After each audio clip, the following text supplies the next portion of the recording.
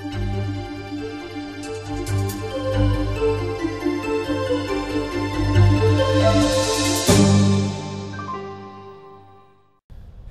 We're here at Sebring. We've come back to look at a flight design airplane. Now, we've done plenty of coverage on Flight Design's CT series over the years, but there's some new stuff now. I'm Dan Johnson. I'm talking with Tom Peghiny here from Flight Design USA. And Tom, what's this sign all about, and what can you tell us about ADSB compliance and the Flight Design CT series? Well, Dan, this is the newest version of the CT LSI, the fuel injected version of the CT made by Flight Design, and we're calling it the 2020 edition. Uh, Dynon has just come out with a compliant GPS source, and when that is matched up with their 261 Skyview extended squitter transponder, That's a mouthful. that becomes compliant for the FAA's next gen uh, requirements for 2020. So let's unpack that a little bit because everybody, we've been hearing about ADSB out in particular now for so long that Yep. the whole community of pilots is charged up about it. But most of them are saying, what do I do to comply? How do I comply? How much is this going to cost me? How long is it going to take? And then there's things like all those words you used after the word dynon that makes people just kind of go, wait a minute, what what's going on here? So try and give me some detail about what that means and how people comply then. Well, there's two things. The compliance requirement is for ADSB out, it's called. And what that is, remember there was originally Mode A transponder, Mode C transponder, Mode S transponder. And every change with those types, more information was being given from the transponder to the receiver at the FAA. Okay. And with this, instead of having only ground based receivers, they're using satellite and ground based receivers to allow the FAA and the controllers and other aircraft to know more about your position, your intention, your speed, your altitude. without having to communicate back and forth verbally. Correct. So when Mode S and all the previous ones, they were sending everything to the ground and then it was back up and like that. How's that changing? Well, uh, from our from our position, the when they talk about uh, mode ES, that's an extended squitter transponder, and instead of sending out four messages with every every blast, it's sending out like 14 messages. Oh, wow. Okay. Okay. So this is part of that extra data that you're talking That's about. That's correct. And uh, they're going to require everyone to have the compliant equipment by 2020 or stay out of areas where you would previously have to have mode C, let's say.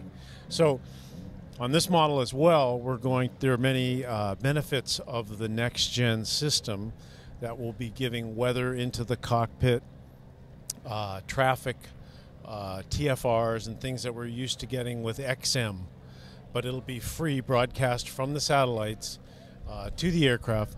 So in this model of the airplane, we're going to offer two options. You can either have the Dynon SV470 ADSB in, or you could use a uh, the Garmin system with a 796 GPS with a unit called a Garmin GDL39. It's a whole bunch Yeah, of a lot of letters and stuff things. there. So, but Well, what it'll the do is point give you traffic. component parts that bring the information to the pilot via some screen device in the cockpit. Both Garmin and Dynon have it. What you're referring to so far is all in, correct? Right. Well, uh, the right now, yes. The uh, what we're talking about Meaning now the is all information in. is coming to the pilot, and he can see weather, which is wonderful, Yes. real-time weather in the air while you're flying, Great. and traffic, which I've used, and I often see the traffic on the screen before I see it visually. Right. But I know where to look, and it's a it's a great help, and I'm very happy for it. But that's only half of the equation, and especially with the 2020 reference here, you're talking about the full equation. Yeah, the the uh, the 2020 requirements are really only for out, and it's and they're saying we need you to use this new advanced transponder that tells us more about what you're doing, where you're going, what your altitude is, what your speed is, your climb rate, things like that. Again, without the pilot having to report that. In the Correct. old days, by back when I got an instrument rating, you had to tell them all that stuff Right. because they had no other way to know it. Now it's just going to be there. And not only does the controller know it, but all other pilots who are similarly equipped will know it as well, That's right? right. And so there's the big advantage. You almost take the human out of it, make it all data, and supply it to everybody all at once. It seems like that should enhance safety. It really should. Um, I will tell you, it's interesting. We flew this airplane, as a matter of fact, down to uh, Tamiami uh, a few days ago. A busy area. A busy area, and there was a lot of, a lot of bogeys on the screen. So that's something to deal with too.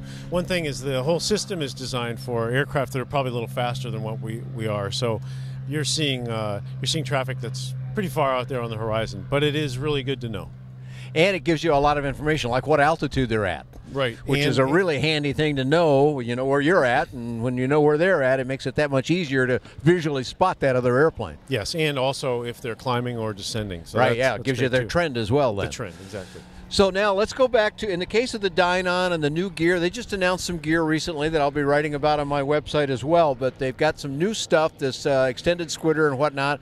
But they've got a pretty good price point on that, so that this business here, this 2020 deadline for the ADSB out, has been a big concern because when they first started talking about it years and years ago, we were looking at numbers like twenty thousand dollars per airplane, and Yeah. most pilots are going, "Wait, my airplane." Right. a used Cessna or whatever. It's only worth maybe twice that, or maybe not even that. And to add that equipment, you're you're going to take me out of the sky. That's all changed a lot now. So if you had one of our airplanes with the Skyview system before and the uh, Mode ES transponder from Dynon, it'll only be $600 for the compliant GPS source, which is really great for the for the outsource Okay. becoming compliant. so that makes and you completely compliant with the 2020 deadline. That's then. right. And That's a pretty uh, good price. They've just come out again with uh, a newer version of their software that increases the capabilities. Uh, Dynon's been very famous since the Skyview came out for improving the product free to their customers. And uh, most recently, it was part of the compli- 2020 compliance package, but also for the 912 IS, the fuel injected versions of the engine there's more uh, data about what the engine's doing, Ah. like the echo mode when you throttle back, when you're on the, the leaned out echo mode. Uh, also, if you have a, uh, a lane light flashing, it'll tell you what that lane light is uh, is about. Oh, really? Okay. That's new since I flew with that Yeah. equipment most it's a brand. New, then. brand new software load. Yeah, it's funny. You know, sometimes those things it gets harder and harder as you get closer to the deadline. In fact, this seems to be one of those reverse situations where it looked really bad at first, and it's just getting better as we get closer. So, good for all around. Good for FAA, what they need to do with their next gen plan. Good for the users of the equipment, and good for the sellers of the Yeah, equipment. that's great. So, give me some general update on flight design, the company, the airplane. What's going on lately that you care to tell us about? Well, we have had a kind of a tough couple of years with flight design after the Russian army threatened to invade our factory located in the southeast corner of Ukraine. You're very Uh, near Crimea down there, right? Uh, very close. Yeah. And uh, and uh, so it's been hard for us to get enough airplanes. Uh, but flight design was in the process of putting up a uh, new facility in uh, China, owned by a Taiwanese company called AeroJones Aviation, and uh, we are just about to start getting airplanes from them. We're anticipating getting 20, 24 airplanes from them this year, and I'm uh, really pleased. Excellent. Uh, my heart is with the people in Ukraine, and uh, Well, and that's we- we're not stopping. No, it is and not. they were never actually invaded or That's anything. It was all That's right. it was all saber rattling, as That's it's right. sometimes said, but it actually didn't cause any problems. Is that correct? No, specifically in the area where the factory is located, no.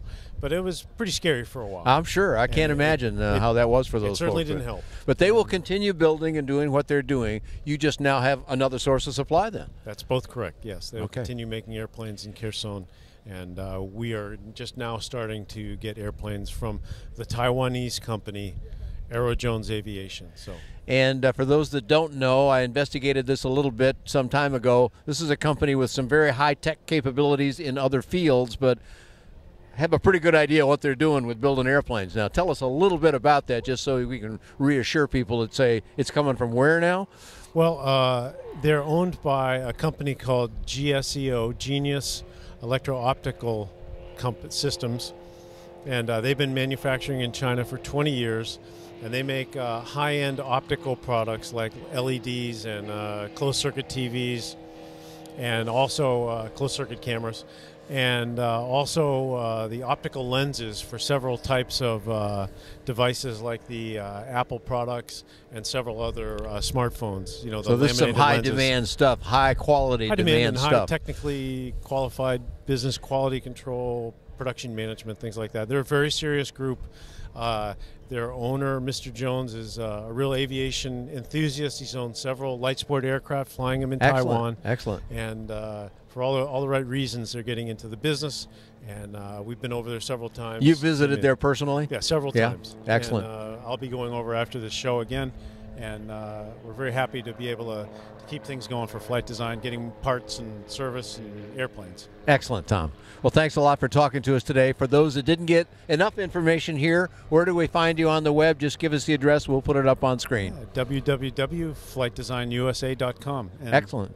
Thank you very much. All right. So here we are at Sebring talking with Tom Peghiny of Flight Design USA and also deeply involved with the operations in Germany, in Ukraine, and in China now as well. Uh, quite a global character here. and you can find lots more about flight design and all kinds of affordable aviation on bydanjohnson.com. Thanks for joining Tom and I here at Sebring 2016.